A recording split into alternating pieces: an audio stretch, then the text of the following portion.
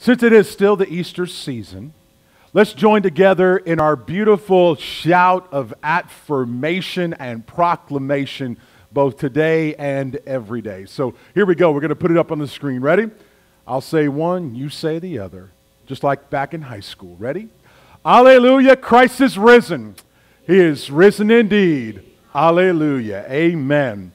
To all of our friends who are joining us this morning for online worship, we're glad that you're here. For all of our friends who are in the room, we are glad that you're here. I want to give a shout out this morning and just know that we are so honored that you would choose on this beautiful day when you could be doing anything, you're here. You're here to join us for worship. And so, if you're online with us today, hey, throw a picture up there of where you're worshiping from and who's worshiping with you today. We love to be able to celebrate that with you this morning. And I really want to encourage you, especially for those who are here and online, if today's message is an encouragement to you, like there's something that, that really touches your spirit and really speaks to you where you're at today in your life and walk with God, I really want to encourage you afterwards, share this message uh, just with anybody that you think would be, get, be a, it would be a blessing to, it'd be a benefit to, it'd be a source of encouragement to. And if you're in person today, I want to invite you to pull out this little um, goldenrod sheet here, this little handout, okay? And so that you can take some notes and follow along with the scriptures. If you're at home today, you may want to grab your Bible and take some notes there. Grab a piece of paper if you want. We're going to put everything up on the screen so you can follow along this morning. Uh, but today, we are continuing part two of our series called Life, Light, and Love. A deeper dive into the book of First John. And First John is, is just this beautiful letter of encouragement that John, who is a disciple of Jesus, lived with Jesus, walked with Jesus. He wrote this letter at the end of his life after 50 years of being a disciple. John writes these words, and they are challenging, they are encouraging, they are hope filled. And what we saw last week, as it sets the stage for this week, is that we have this God who is our life, our light, and our love. We saw last week how Jesus, right, is the giver of life. He gives me life, He gives you life. He's the source of light. He's the one who brings light into our world so that we know the path of righteousness. We know the path that God has designed to, for us to live and walk in in this world. But more than anything, He is a demonstration of love. His love shown for us on the cross as he laid down his life. He is a demonstration of love. And so this week, we're going to continue with part two. And I want to share with you a very simple message called Lessons from Dad. Lessons from Dad. So let's pray and uh, ask the Lord to bless our time together. Let's pray. God, we thank you so much for this time together. May the word that you speak through your servant John be a word of encouragement and hope and grace for us. May that word of encouragement speak to our hearts and fill us with joy and laughter and peace. May, may your word that you speak to us challenge us, but also equip us to follow you as we take these beautiful lessons from dad from to heart as we as we apply them to our life and really sink our teeth into them this morning and every day and we all said together both here and at home amen amen amen there once was a father and a son. And one day, the father and son decide to go out fishing. And father and son are sitting together by the bank, and uh, the boy became curious about the world around him. And as he was looking at the lake, he noticed some boats out there, and he said, Dad, how do boats float? And the father responded very simply, Don't right know, son. Don't rightly know, son. So the boy just sat there for a moment, okay. And he began to contemplate life again, turned back to his father, and he said to this, to his dad, Dad, how do fish breathe underwater? Great question for a kid, right? How do fish breathe underwater? And once again, the father replied, Don't rightly know, son. A little later, the boy asked another question Dad, we all had this one. Why is the sky what? Blue. And dad looked at him and said, one more time, Don't rightly know, son. Worried, the little boy was that he was annoying his father. He looked at his dad and said, Dad, do you mind that I'm asking all of these questions? And dad looked at him and said, Of course not, son. If you don't ask questions, you'll never learn anything. This is what we call a lesson from dad. A lesson from dad. Lessons from dad, as I know and you know and we know, they all come from different places and in many ways, right? Our lessons from dad sometimes are spoken lessons, right? It's words of wisdom and insight and encouragement that our dads, our fathers, whoever that person is in our life, give to us, right? Sometimes those lessons from dad are not spoken. It's just what we see, what we observe, what we watch. Sometimes our lessons from dad are very intentional, right? Son, we need to have a talk. Sit down. Daughter, we need to have a talk. Sit down. Sometimes those lessons are unintentional. Like when you're driving to the mall to go get a pair of soccer cleats, and all of a sudden a conversation breaks out. Sometimes our lessons from our fathers are good. Sometimes our lessons from our fathers are not so good. We all have lessons from dad. My father taught me some very important lessons. And uh, I hope he's listening up in heaven right now. My father taught me, for example, the value of a hard day's work. We lived on a farm. You could not run a farm without working hard. But not only did my dad have a farm, he also had two other businesses to go along with the farm in the off season a janitorial business and a supply business. My dad was always working, and he taught me from very early the value of a hard day's work.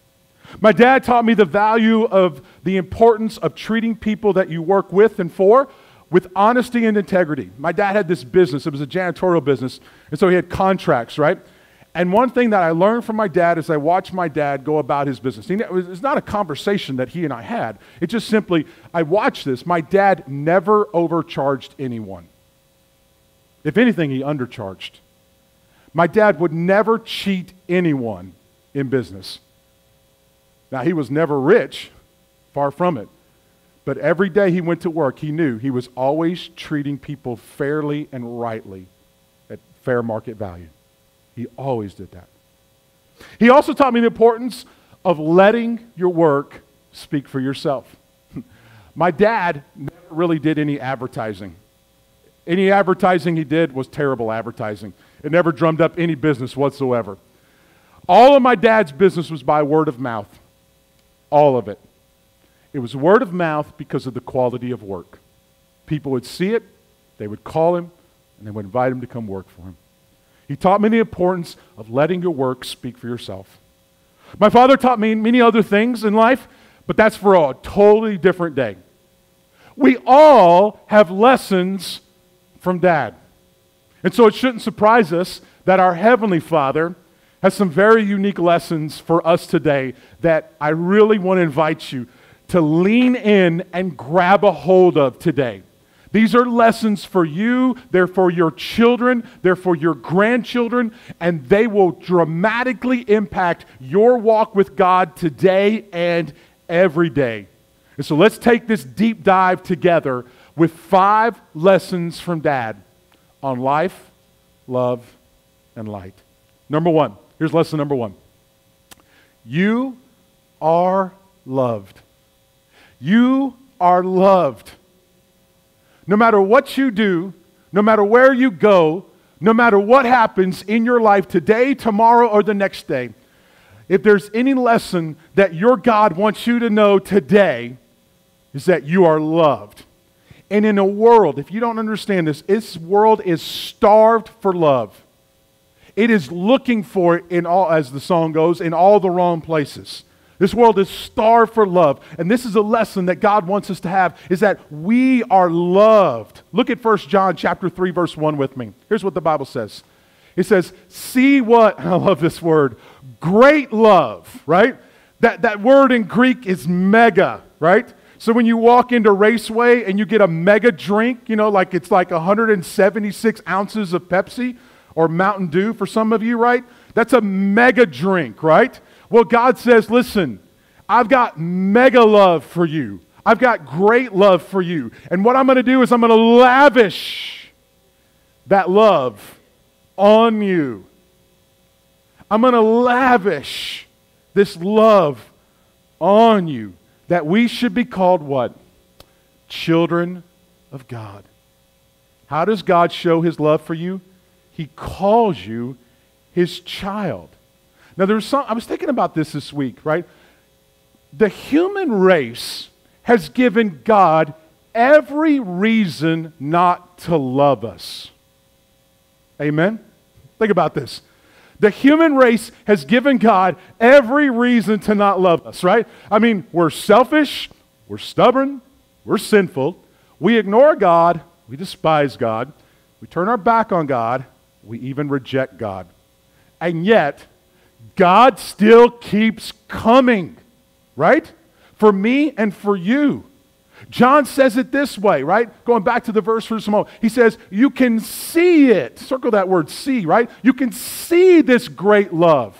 You can see this great love that the Father has lavished on us, that we should be called children of God. And that's what you are, and that's what I am. Notice, He doesn't call you a reject, He doesn't call you a misfit, He doesn't call you expendable. Your Father in heaven loves you so much that not only does He call you a son and daughter, but He also provides a way for you to be a son and daughter. See, He doesn't just call you a child of God, He actually goes through the process of formally adopting you into the family so that you are a part of His children forever. Last week, we got to celebrate that with Brady. Look at that, Brady. You're up on the screen today. Last week, we got to celebrate with Brady his baptism, where God said, Brady, I am adopting you into the family of God. You are one of my children. You belong to me. Not only do I call you a child, I've made you a child. After this service, Ruth will get that same blessing. As God tells Ruth in the waters of baptism, Ruth, you are my child and you belong to me. You belong to me, right? St. Paul says in the book of Galatians that you are adopted as one of the family. And as part of the family, nothing will ever carry you away. See, your dad wants you to know, and I was thinking about this this week, right? Your dad wants you to know this that when you wake up tomorrow and you go to work, you're loved. You're loved. When you go to school, Austin, tomorrow, when you walk off that bus and you, you go into school, God wants you to know, Austin, you're loved. You're loved. When you, when you wake up in the morning to take care of your kids, God wants you to know you're loved. When you, when you head off to do whatever you have planned for the day, God wants you to know, say with me, you are loved. You are loved. And this lesson matters because you're going to need that affirmation because of lesson number two. You need to know that you are loved and that you belong because lesson number two reminds us that life is going to be difficult. So here it is lesson number two. You will be misunderstood. You will be misunderstood. You know, the first time that I ever went out of the country, was on a mission trip to a place called San Lorenzo, Mexico. It was about an hour and a half west of, the, of uh, Juarez uh, on the Texas El Paso border. And when we got to San Lorenzo, right, we stayed there for about a week and we got to meet the, the people of the church that we were helping to build. We got to be part of com- the community that we were in. And at that time, I knew just a little bit of Spanish. I was a junior um, in, in college but I didn't know enough to have a conversation with someone. So when they got there, it was frustrating. It was frustrating not being able to communicate with the people. It was frustrating not to be able to, to, to have a conversation with the people that we were working with. And so every time I had to be very careful. I had to be very careful about what I said. And I especially had to make sure that I pronounced the word baño correctly. Because if I didn't pronounce that word, that one simple word correctly, I would not find the bathroom when I needed it the most. Amen? And so we, the problem was, the problem was, they couldn't understand me. Why? Because I didn't know the language. The same is true for lesson number two. You're going to be misunderstood because people don't know the language. You're going to be misunderstood by the world because they don't know you because they don't know Jesus. Just listen to what John says in 1 John chapter 3 verse 1. I'll put it up on the screen for you. The reason the world doesn't know us, that means and, and that word know is you can place in a, you know, uh, you can substitute the word understand there, right? The reason the world doesn't understand Christians is because that they don't understand Jesus. Because if you don't understand Jesus, you can't understand his followers. If you don't know him, you can't know the people who follow him, right? Another way of saying is the reason they can't understand you is because they don't understand him. Let me give you a couple examples to bring this home. Here's the first one. Jesus says, Speak truth in love. But what does the world hear? What does the world understand? Jesus says, Speak truth in love, right? So, so we go to a friend or we go to a family member or we go to somebody we know, right? And we love them, but we know we have a conversation with them, right? But when we have that conversation, right, if they're part of the world, here's what happens. They don't hear love, they don't hear truth, but what they understand is you're being judgmental. That's what the world understands. The world says you're sticking your nose where it doesn't belong. You're going to be misunderstood when it comes to Jesus on this. Now, if you try to, of course, now listen, if you try to speak to someone that you don't really love, but you're trying to convey truth, and they react negatively to you, that's on you. That's all you. That's your fault, right? Okay? You don't ever go speak a truthful, hard, difficult conversation to someone if you don't genuinely love them. And if you don't love them, then you need to be with God for a little while and let God develop a love in your heart for that person so that when you actually go to them, you can speak honestly truth and love. But understand this you may be misunderstood, you may be called judgmental, you may be told that this is none of your business. You may be, they may shift the blame onto you, whatever it may be. You're going to be misunderstood. Number two, Jesus says, love your neighbor as yourself, right? So, so you think to yourself, I'm going to do something nice for my neighbors, right? Now, in the South, you can kind of get away with this a little bit more, right? But in other places, it doesn't always work this well, okay? But, but, it, but you say, okay, I'm going to bake cakes for every single one of my neighbors. Or I'm going to buy dinner for all of my neighbors. I'm going to do something randomly kind for all of my neighbors, right? And you have that one neighbor that goes, What are you doing? What are you doing in this particular moment? Jesus says, Love your neighbor as yourself. And so you do something kind and unexpected. What does the world hear? What's the catch? What do you want? What's in it for you? No one can just do something freely out of love.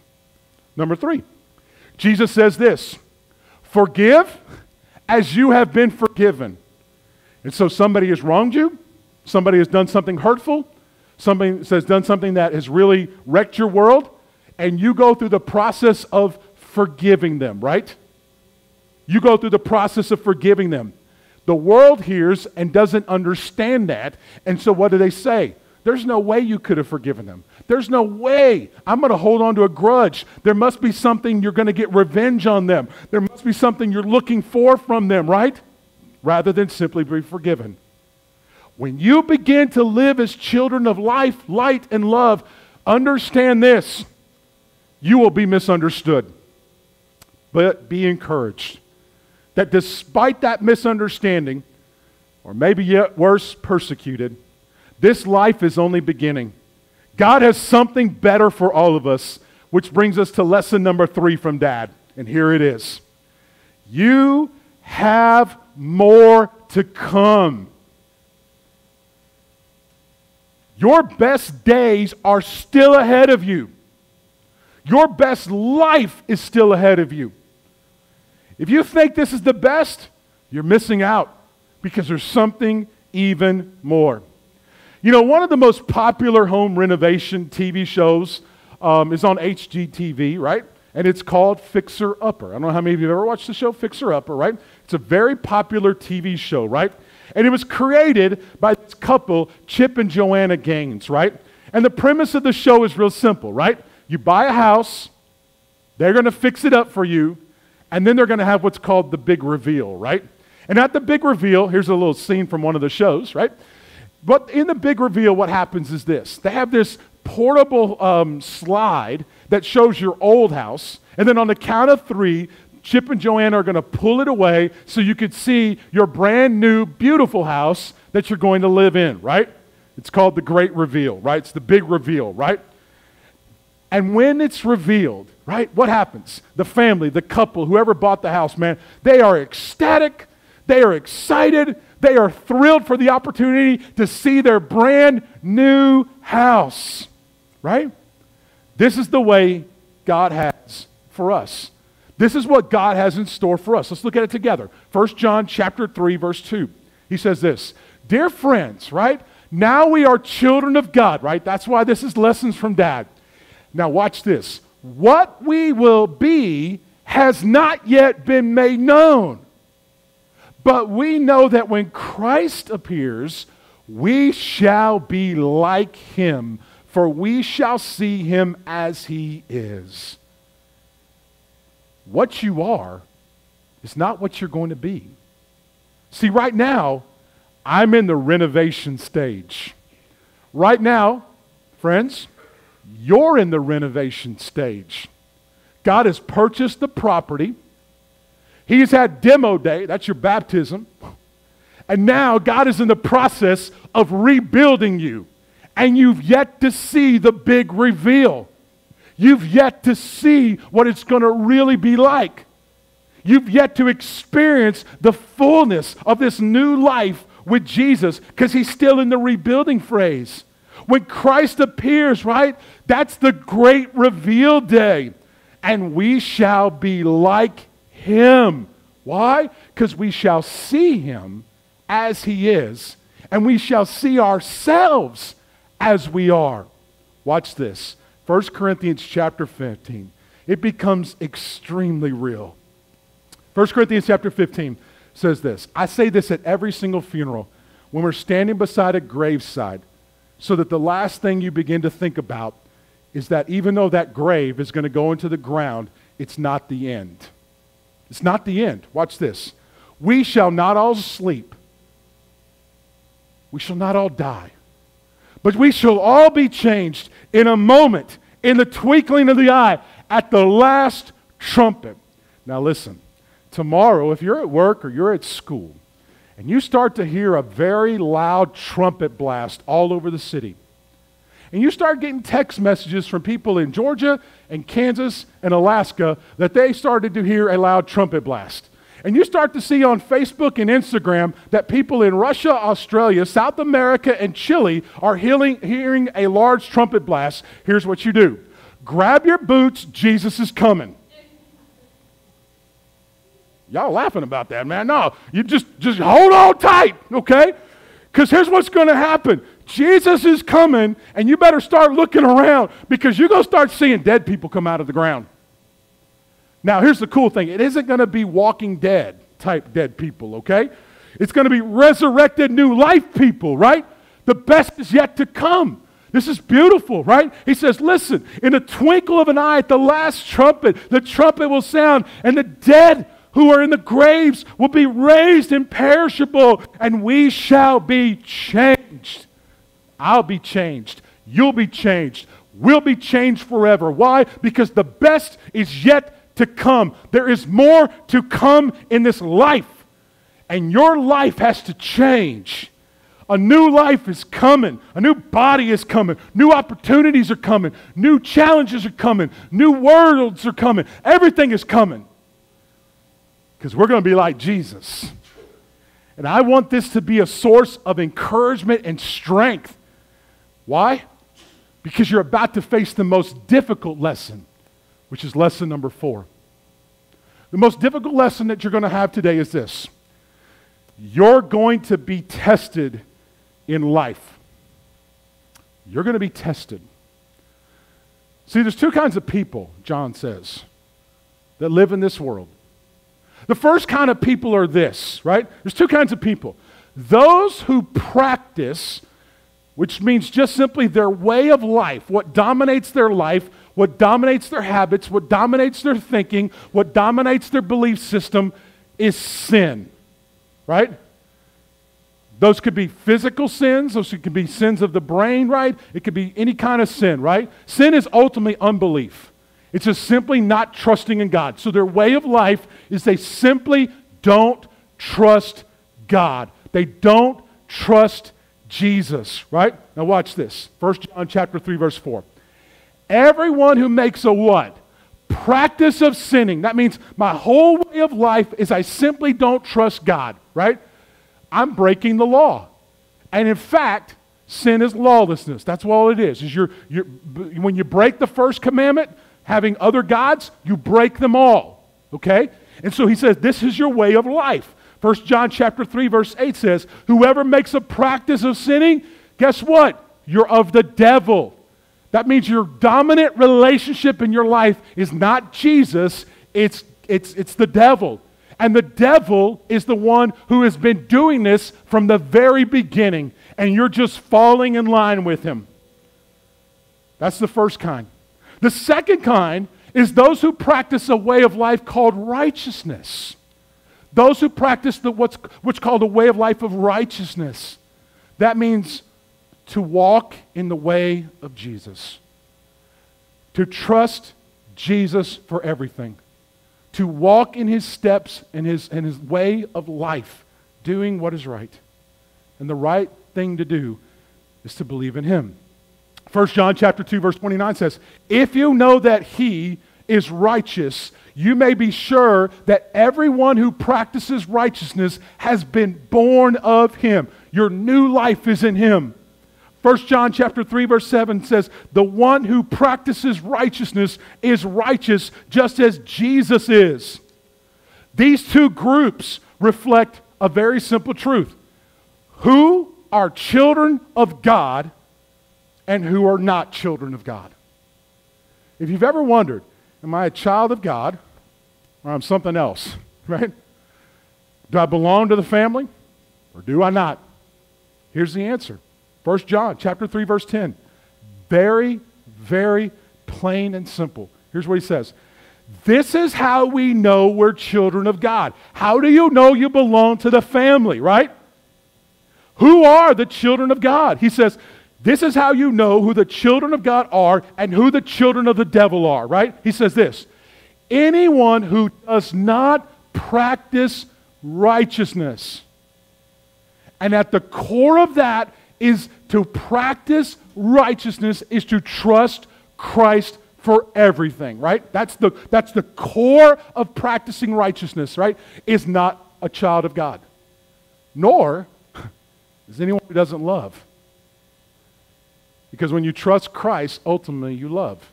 That's the fruit. How do you know if you're a child of God or you're a child of something else?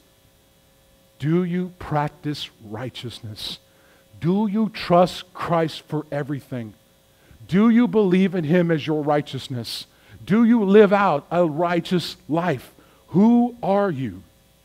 And so, because of this, right, we're going to find ourselves in conflict. We're going to be tested in this life. And watch the test. Here it is, verse 7. Dear children, don't let anyone lead you, and let's all say it together, both here and at home. Don't lead you what? Astray. Don't let anyone deceive you. I've said this before, but I want to make sure I'm clear. The world is designed to lead you astray. Everything in this world is designed to lead you away from your relationship with God. The world is fallen. The world is under the control and reign and rule of the prince of power of evil. That's why God's kingdom is not of this world. Everything is designed in this fallen way to lead you away from God, to lead you away from what is right and true and good, to lead you to not believe and place your trust in Christ. There will always be something in this world trying to pull you away. There will always be something in this world that will tempt you to turn away from God. There will always be something in this world that wants you to reject the living God. That's why Paul, John says, don't let anyone, don't let anything lead you away from your relationship with Jesus. Which is why the most important lesson not to forget is number five. I heard a beautiful story. It's a lesson I want all of you to learn. Make your bed in the morning. The first thing you do is make your bed in the morning. This is William, Admiral William McRaven. And his commencement address to the University of Texas, go Longhorns, right? Shared one of the most important life lessons you can ever have if you want to be successful. He said this Always make your bed first thing in the morning. And here's the quote If you make your bed every morning, you'll accomplish the first task of the day. It will give you a small sense of pride. It'll encourage you to do another task and another and another. Making your bed will also reinforce the fact that little things in life actually matter. If you can't do the little things right, you can't do the big things right.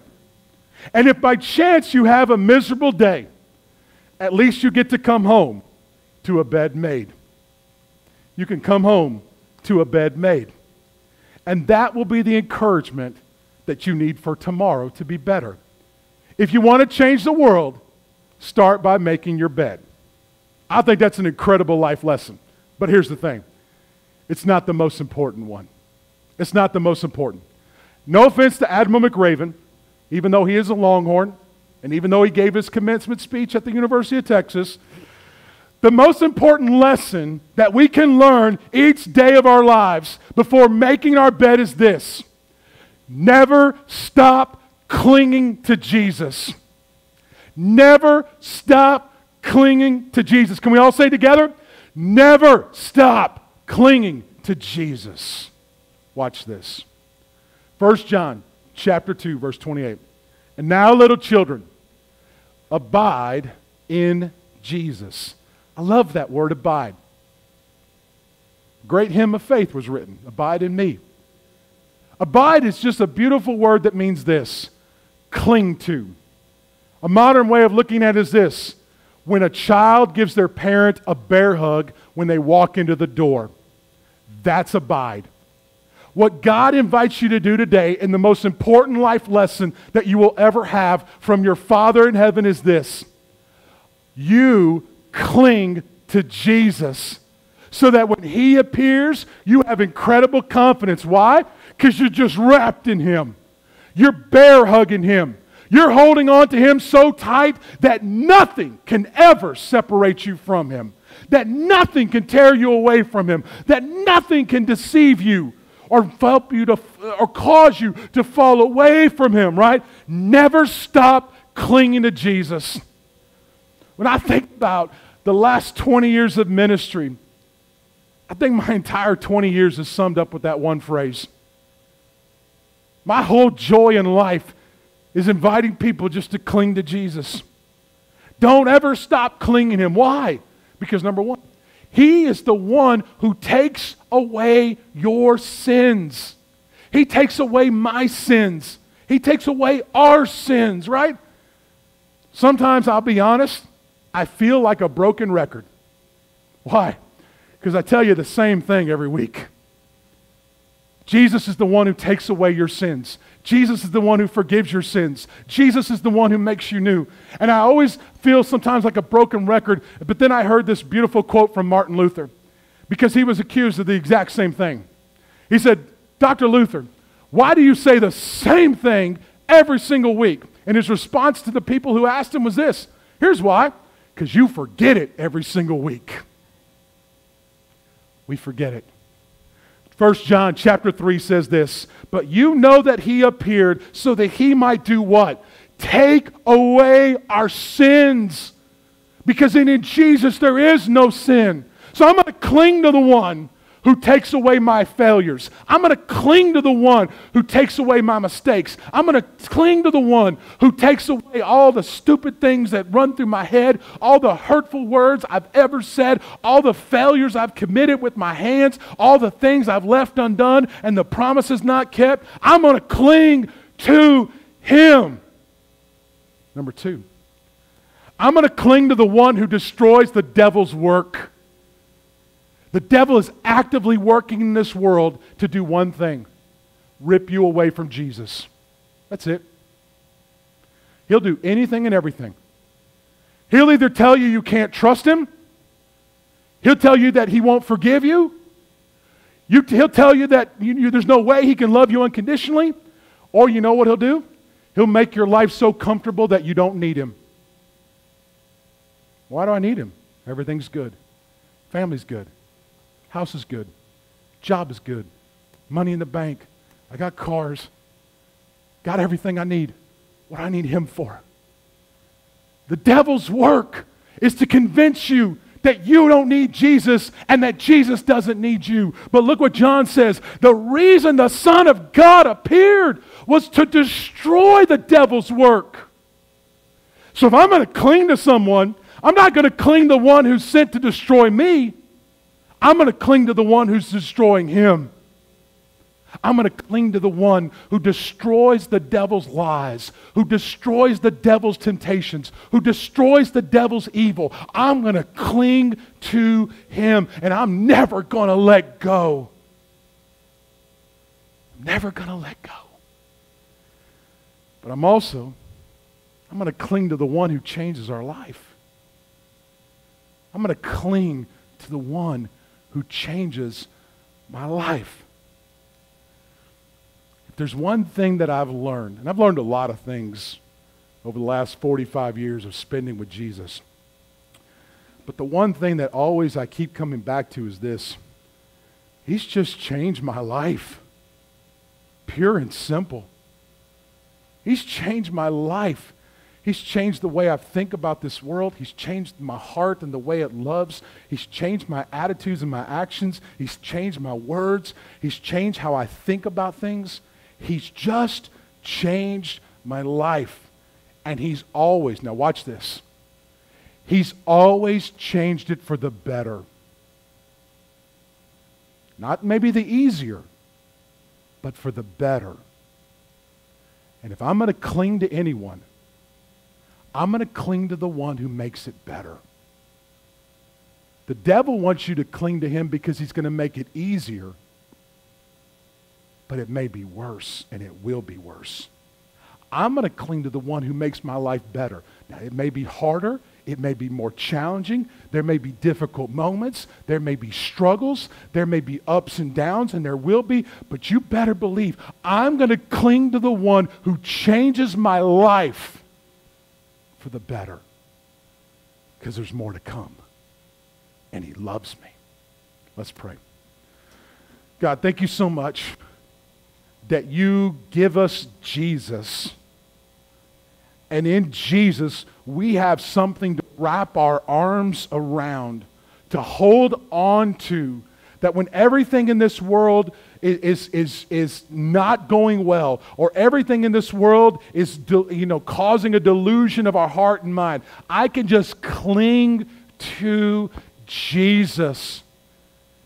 If there's any lesson I'm going to learn today, is to cling to Jesus. If there's any lesson I'm going to take away, it's to cling to Jesus. Why? Because you love me.